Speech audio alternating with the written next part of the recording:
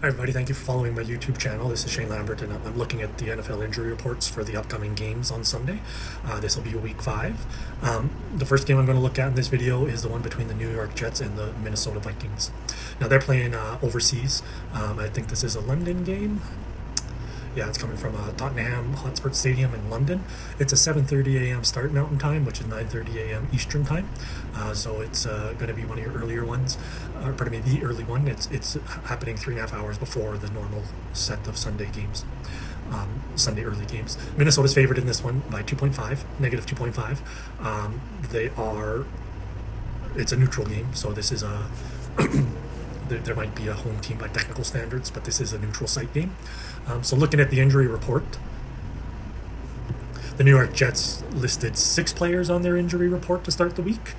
Um, Morgan Moses, offensive lineman, Tyron Smith, offensive lineman, uh, linebacker C.J. Mosley, uh, quarterback Aaron Rodgers started the week on the on the injury report, and Leki Fotu, Alijah Vera Tucker, that's a defensive lineman and a guard. Um, Now, just because you started the week on the injury report doesn't mean you finished it there. So Aaron Rodgers was on with a knee injury. He was limited on Wednesday, but he was upgraded to full participant on Thursday and remained there on Friday. Uh, that means he's fully expected to play. Um, Morgan Moses, the offensive lineman, is out.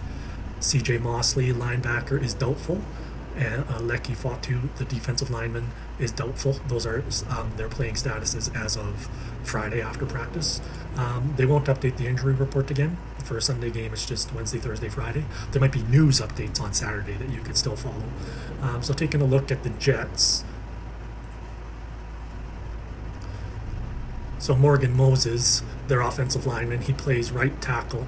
Um, he was a starter, so they're, they're, that's not bad though. They're only down one starter. Um, you see a lot worse injury reports going into week five.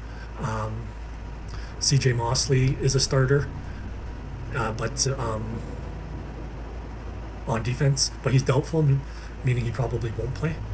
it's not a bad injury report for the Jets, uh, particularly because Aaron Rodgers improved during the week.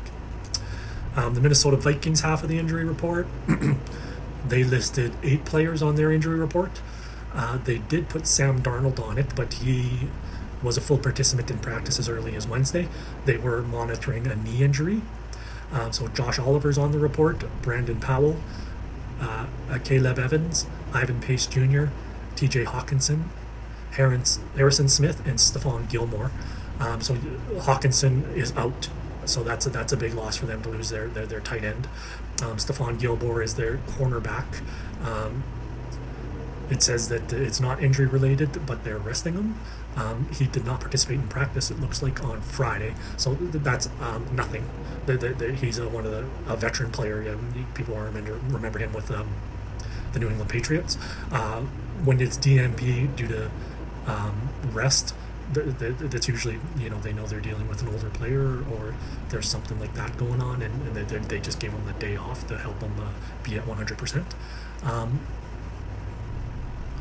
Hockenson's a big deal, I think. Um, that's we'll take a look at the the Vikings, who are four zero. Oh. Um, let's see.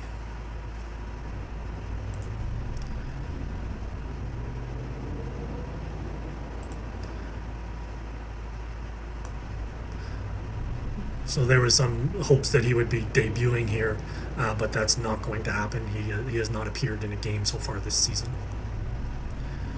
Um, so, you know, I think they, if you were a Minnesota fan, you would want him back, uh, of course. But uh, you're four zero oh without him, so it's not it's not looking like a big, huge deal here. Um, it's not a bad injury report for either team now that I look at it. Um,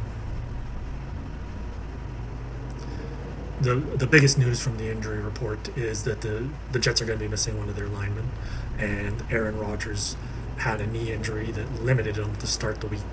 Um, whether that affects his practicing um, on, I would say that that's actually a minor detail that's worth noting, uh, just because the the, the the Jets have not been on song offensively at all, right?